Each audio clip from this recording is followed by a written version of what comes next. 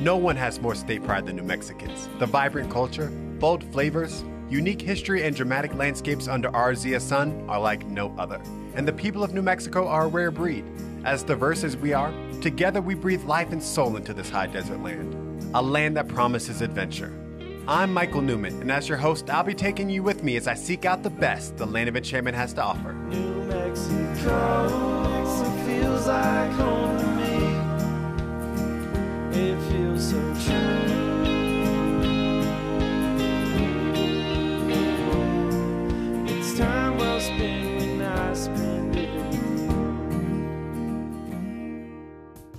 Thanks for tuning in for another episode of New Mexico True Television. I'm your host, Michael Newman. In this episode, we're exploring some of the city's best features its urban side and its pastoral side.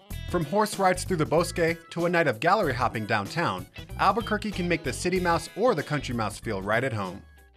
Just north of Paseo del Norte and west of the Rio Grande off Coors Boulevard is the Calabacillas Arroyo, a trailhead along Albuquerque's northern bosque, serving as a staging area for my horseback ride with Steve Simmons and New Mexico Horse Adventures. Shaded by majestic cottonwoods and thick with willows and brush, the bosque is a riverside forest situated within the city limits. As a resident of Albuquerque, the bosque is a familiar and beloved respite for me.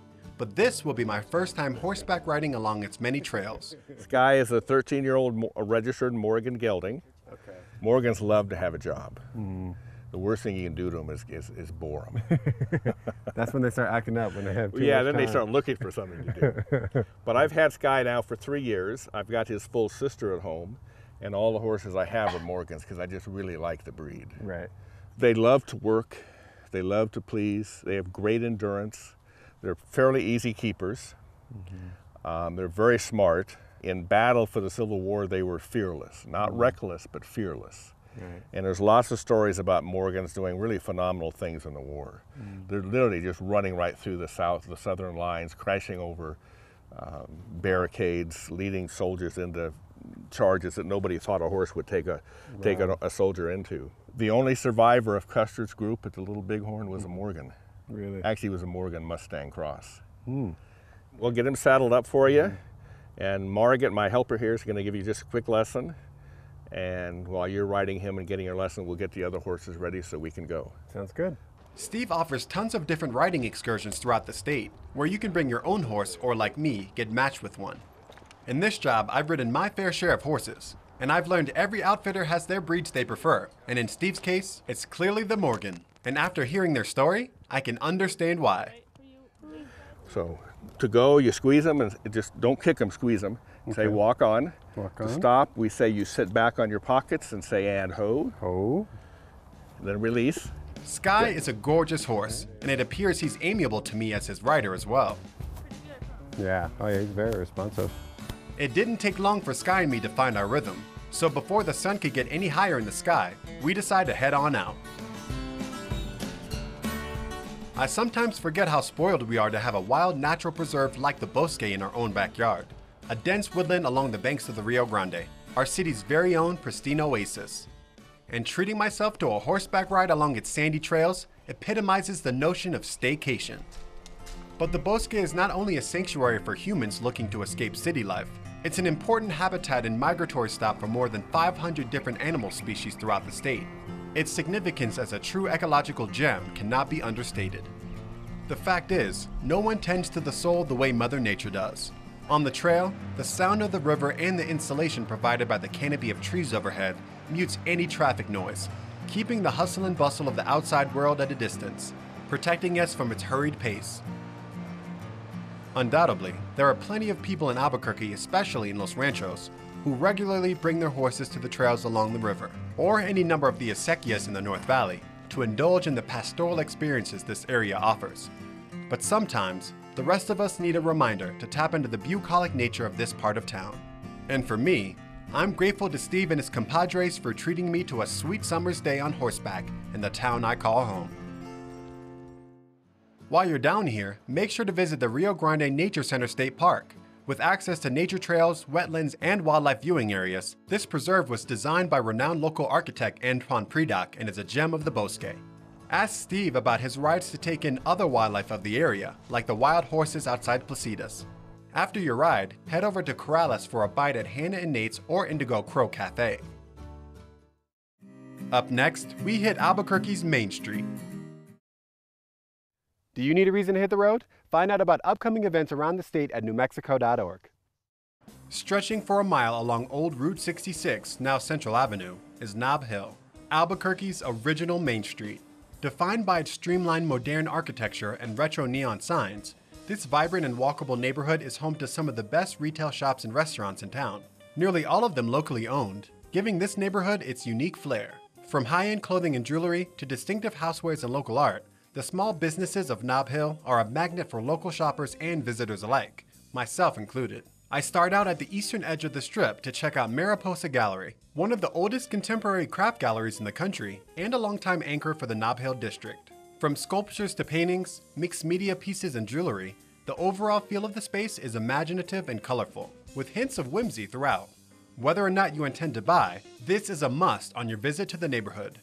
Just one block down from Mariposa Gallery is Hey Jhonny, self described as a lifestyle store. The eclectic mix of items in this shop have been sourced by the owners from all over the world, giving New Mexicans access to unique finds typically found in the boutiques of much larger cities.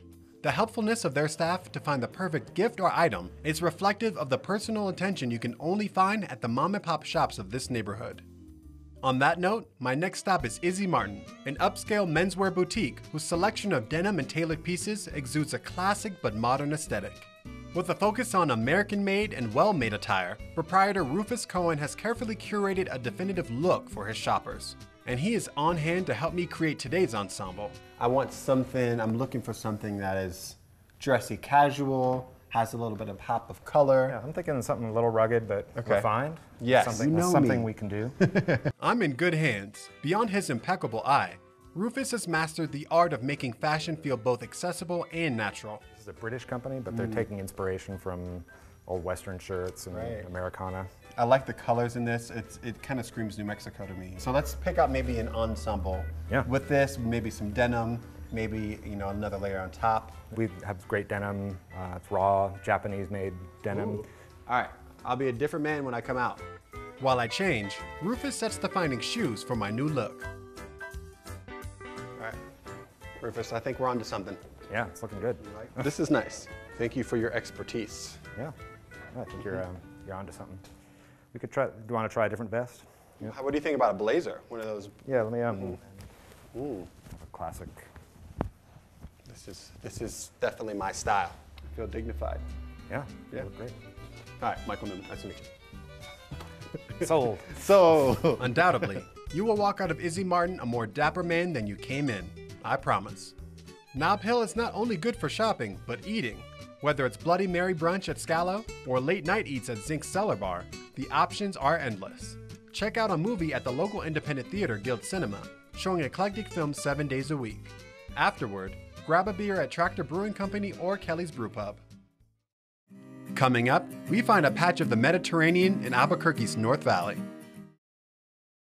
Do you take a lot of pictures on your New Mexico travels? Well, if you do, show us by hashtagging New Mexico True on Facebook, Twitter, and Instagram.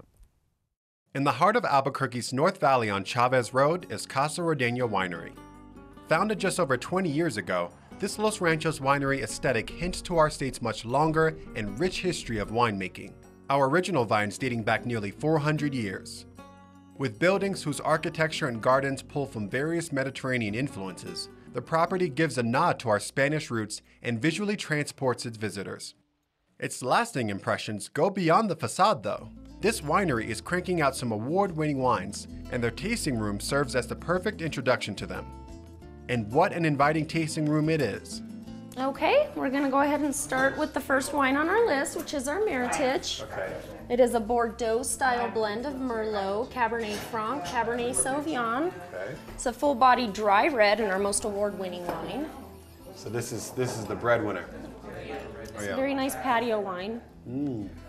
Is that your favorite? That is my favorite. Uh-huh. Okay. Although I do have many favorites. this is the 1629. This is our signature blend. It is a blend of Syrah, Cabernet Sauvignon, and Tempranillo. It's going to have a bit of spiciness due to the Tempranillo, which is a spicy grape. Okay. And it is named for the year that wine vines were first brought over from Spain, from Europe. And they were brought into the New Mexico region in the Rio Grande Valley, which makes New Mexico the oldest wine producing region in the New World. In the New World, of course, yeah. Pre-Columbus, post-Columbus kind of Yes, yes. Uh-huh. The Tempranillo is actually a cousin to the original grape that was brought over. The original vine, yes.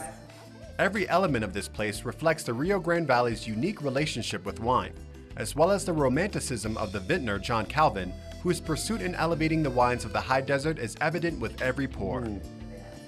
It's just the perfect amount of sweet.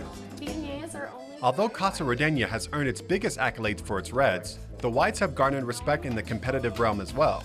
And on a beautiful warm day such as this, the Viognier or the Rosé is all the more refreshing. Mm. I like that. So the next one on the list is the Anamonte, our port style wine. Okay. It is a Cabernet Sauvignon, hint of Cabernet Franc base. Nothing like a port to finish off a tasting, but looks like she has something else up her sleeve. Did I just see chocolate Cabernet wine sauce on that label? So go ahead and taste the wine first, then taste the chocolate, All right.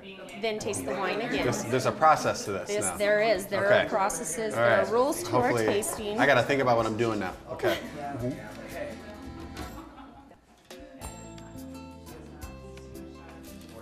That chocolate's nice. Does my face not say it all? I am quite happy with this final note. Mmm. You can see like it all comes together at one point. Yes, yes. The chocolate really brings it together. Wow. This might be dangerous. You know, you give Yes. a, you know, get some chocolate and some dessert wine. That um, that's a nightcap. Yes, it is. Speaking of which, the sun is moving the day into magic hour, so I grab a glass of the Meritage and head outside to find a place to sit down and bask in the beauty of the gardens. I find a nice spot just calling my name. In such an elegant setting, under arched doorways and tiled rooftops, a soft breeze in the air, the aroma of flowers complementing the lingering taste on the palate, you could say the entirety of Casa Rondeña acts in the way the Anamonte and the chocolate Cabernet sauce do. It all just comes together to create the most indulgent of experiences. The tasting room also has a gift shop, a place to pick up a bottle of wine or Cabernet chocolate sauce for a wine lover or gourmand back home. While you're in Los Ranchos, head down the road to Los Poblanos Ranch to check out their farm shop, or make a reservation at their award winning restaurant La Merienda.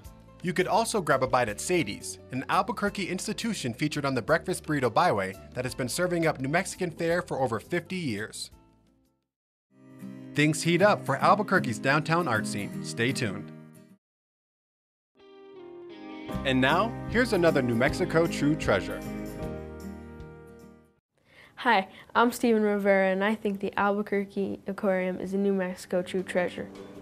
I like that you can go and see a bunch of different kinds of fish. I like to go and look at the stingrays. I, I, I like to wonder what things, things feel like. So you can just go and you can just like pet the different kinds of fish that they have in the petting aquarium. When you're watching the fish in the aquarium, it's kind of like you're in the ocean. If you ever go to the aquarium, you have to go and look at the jellyfish because it's dark and they glow and they're kind of like the blobs in a lava lamp. Sharks. I don't like them because just the thought of something that you're powerless in the ocean and then they have so that's their kingdom so they can just easily attack you. I've never been scuba diving and I don't I don't think I've ever been to the ocean. Um, but it'd be really fun. That's why I like going to the aquarium.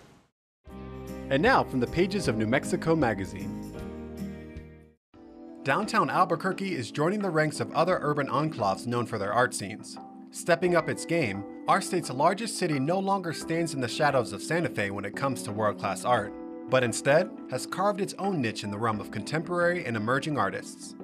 On Central Avenue, the city's hottest galleries share the same block, and on nearly any given Friday night, you will find the streets abuzz with people popping in and out of their doors to get their art fix. I made my way downtown early so I could get a sneak peek at 516 Arts before the masses started to arrive. This independent arts organization has brought the arts community of Albuquerque together, generating an immense amount of dialogue and collaboration among local artists, as well as interconnecting them with their global peers. I was eager to speak with the gallery's executive director, Suzanne, to see how they managed to pull it all off. Can you tell me about what this place is about. It's a staple in the art community here in Albuquerque, and everybody knows it, but what's the behind the scenes story? We're mostly visual art space. I mean, the venue is set up like a gallery, and we call it a, a hybrid venue. It's sort of a museum style gallery because they're mm-hmm. curated exhibitions. And we do some art sales as a fundraising activity, but the sales is not really the core of our mission. It's about bringing people together and learning. So that's a key distinction from other galleries. Is, Yeah. is the, is the point is not to you know sell everything, but it's to expose people to other parts of the world or other kind of Yeah. artistic expressions from yeah. other places. It's all about the experience mm-hmm. and communication, bringing oh, people together. We present music and dance and all kinds of performance and happenings of different types. So Right. it's always a surprise. And she's right. With each new exhibit, 516 delivers the unexpected. The one consistency is the number of people that turn out for the shows. It's not long before the DJ is spinning, the crowds are hopping, and the space is overflowing. I duck out to grab my friend Cloudface, a local artist in his own right, to join me for the evening's events. DJ Halcyon's cumbia rhythms reverberate from the turntables, creating a vibrant atmosphere for ingesting the art on the walls.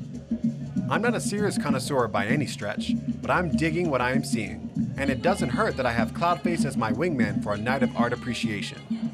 Once we've covered all the territory at 516, we decide to pop next door to Richard Levy Gallery, a long-standing premier gallery of emerging and contemporary artists. Richard Levy can certainly be credited with bringing international contemporary art into downtown Albuquerque, as well as creating a venue for local artists to shine. But beyond the prestige Richard Levy's gallery holds here at home, the gallery has garnered international acclaim and can often be seen at the more distinguished art fairs around the country. Gallery director Viviette fills us in on the exhibit we're seeing tonight. We put this show together. It's a, a, a group exhibition of 10 artists, all from the greater Albuquerque area. I've learned a lot from him and knowing that the, the, the scene is really burgeoning here. Like it's a lot of artists coming out of Albuquerque and New Mexico in general, right? We have 10 here. They are uh, range from emerging to established artists. Obviously, a range of mediums painting, video, sculpture, photography, and it's been a really wonderful show to have in the gallery. It's it's entertaining and some of it's really intriguing. You have to look really close to see what it is. It was great to have the opportunity to talk with the artists one on one about their work. Definitely an advantage of going to the opening reception. And the night's not even over. We're heading to Central Features, where some really groundbreaking art is on display. This cutting edge gallery is newer to the scene, but is already making a bold statement with its socially progressive and environmentally conscious mission and artwork. We are already taken aback by the stunning pieces displayed here, a body of photographs depicting the energy and movement of water. And while the photos are exquisite, how they are created is even more fascinating. Outside, we find the Sound Illuminator. Utilizing the nose of a 727 jet, artist Sasha Vom Dorp has created a machine carrying sound waves to its surface where water is spurred by the vibrations and illuminated by sunlight and LEDs. The forces of sound, light, and water play off one another, and he captures it all with his camera. Mind blowing. From water to flames, the methods of artistic expression involving nature's elements are well represented in this exhibit. I can safely say I've never had the opportunity to experience art in this way, and all right here in downtown Albuquerque. Thank you. It's called a Rubens tube, and I think it was invented in the late 1800s. Really? Yeah, and it was invented as a physics experiment. It's just a gas pipe with some holes drilled in the top, and Right. it's got saran wrap on one end and uh, a little amp. Oh. And you've just put the gas into the other end of the line, and the vibration from the amp vibrates the saran wrap, and that vibrates the gas in the tube. It's Pretty that simple. yeah. but it, the effect that it has on people when you can, it's we were talking about like synesthesia, like having that exactly. kind of jarring experience of seeing what you're hearing and Yes. feeling it at the same time. With the heat, literally, you feel it. Yeah. Wow. These exhibits are ever changing, but thanks to a smart curatorial prowess and pioneering spirit of gallery owner and director Nancy Zastudil, you are guaranteed an inspiring experience upon entry at Central Features. You've done us proud, Albuquerque. After an evening of gallery hopping, grab a nightcap at Hotel Park Central's Apothecary Lounge, whose rooftop bar offers views that are their own masterpiece. When getting your ABQ art fix, don't forget to check out the exhibits at the Albuquerque Museum of Art and History and the UNM Art Museum. Be sure to check out the goods and artwork for sale at 516 Art Gift Shop, a treat for yourself and a way to support the burgeoning artist community. For more great stories like this from New Mexico Magazine, visit newmexico.org.